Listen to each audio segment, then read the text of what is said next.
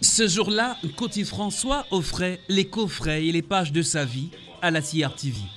C'était donc son testament musical, avec le poids d'un héritage, un demi-siècle de carrière gravé dans ses disques. Je les dépose dans toutes les radios, les télés, que les gens, les jeunes d'aujourd'hui puissent les écouter. Cette pile compile ses vies de piliers du Makossa, de batteurs, chanteurs, producteurs et entrepreneurs culturels.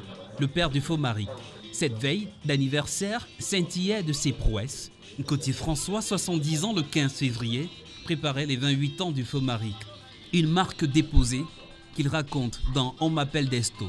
290 pages d'un destin plein de ses multiples vies. Vie de mère de Bonaléa avec l'écharpe du RDPC, bien loin de ses années d'enfance où pourtant il avait rêvé d'arborer une soutane de prêtre.